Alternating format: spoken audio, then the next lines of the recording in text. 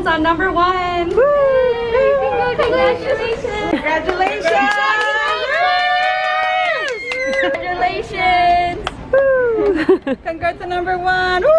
Congratulations, Billboard singer. Congratulations. Congratulations, number one! Congratulations, number one.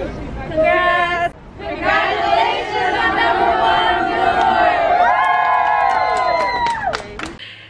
여러분, 미국에서 방탄소년단이 다시 한번 빌보드 핫백 1위를 탈환했습니다. 이게 지금 벌써 세 번째입니다. 5주 연속 1위, 1위, 2위, 2위, 1위. 결국 1위를 다시 탈환했습니다. 하, 아, 여러분, 저 잠깐 울어도 될까요? 아, 진짜. 아, 너무너무 눈물 날 것 같아요. 아마 아, 방탄 팬들은 저랑 같은 마음이실 겁니다. 방탄 팬이 아니신 분들은 지금 보면서 어, MC 선아 너무 오버한다고 하실 텐데 방탄 팬들은 이해하실 거예요. 제가 지금 이 뉴스를 좀 살펴보니까요. 그냥 빌보드 핫백에서만 1위를 한 것이 아니라 새로 생긴 차트들이 있습니다. 빌보드에서 글로벌 200 차트, 미국 포함 전 세계에서 1위를 차지했고요.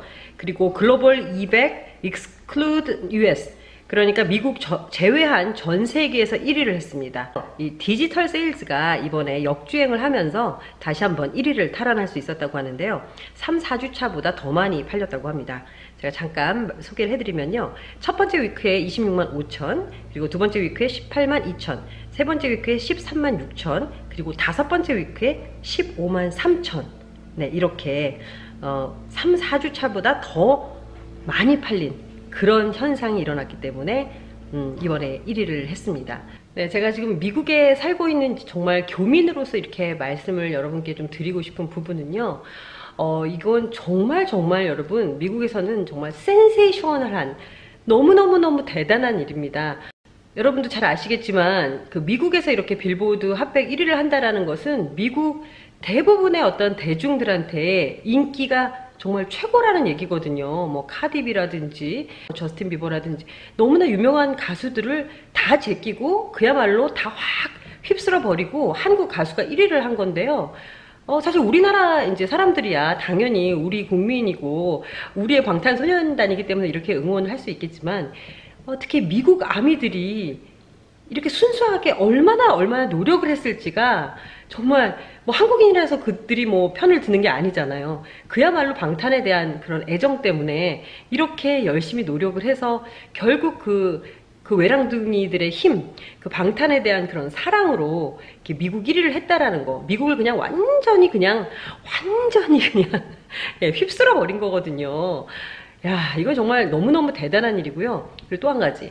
그 아미들도 이런 얘기를 했어요. 제가 인터뷰를 했는데, 이 빌보드 핫백이 1위 했던 그 의미를 좀 물어봤더니, 단순히 이렇게 어떤 방탄 아미라는 팬덤에서 이제 벗어나서 팬이 아닌 사람들까지도 방탄을 좋아하게 되고 굉장히 어떤 대중적으로 가는 그런 어떤 길목이다. 이게 굉장히 중요한 turning point다. 이런 얘기를 하더라고요. 미국 전역에서 방탄을 모르면 조금 떨어지는 분위기. 예. 아, 아니 방탄도 아직 몰라? 전 국민이 알아야 되는 거예요. 그 정도의 인기입니다. 이게 빌보드 1위를 한 번 한 거하고 지금 세 번째거든요, 여러분. 그리고 이제 앞으로 시작입니다. 많은 전문가들이 이렇게 이야기를 합니다. 이거는 시작이다. 이건 시작에 불과해. 지금 세 번 1위 했는데 시작이래요. 음, 그냥 한국의 어떤 국위 선양을 하고 이런 차원이 아니고 한국의 어떤 국가 이미지를 얼마나 바꿀 수 있는지 그 얼마나 중요한 위치에 있는지 어, 여러분이 조금 더 이해를 하시고 좀 아셨으면 하는 그런 바람이 있습니다.